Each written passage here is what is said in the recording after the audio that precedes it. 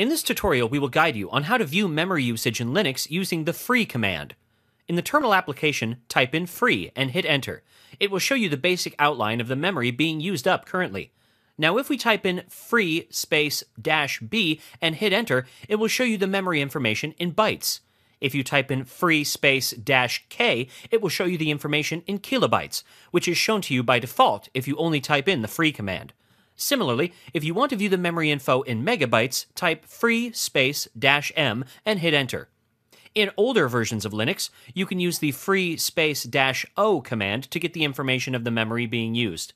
With this command, though, you won't be able to view the memory usage of the buffers and the cache. The switch dash s command is the interval of memory information in seconds. Here we will show you a one second interval. So for that, we will use the command free space dash s1. The free-v command is used to show you the version of procps package, which comprises of a number of small utilities helping you find information about the processes.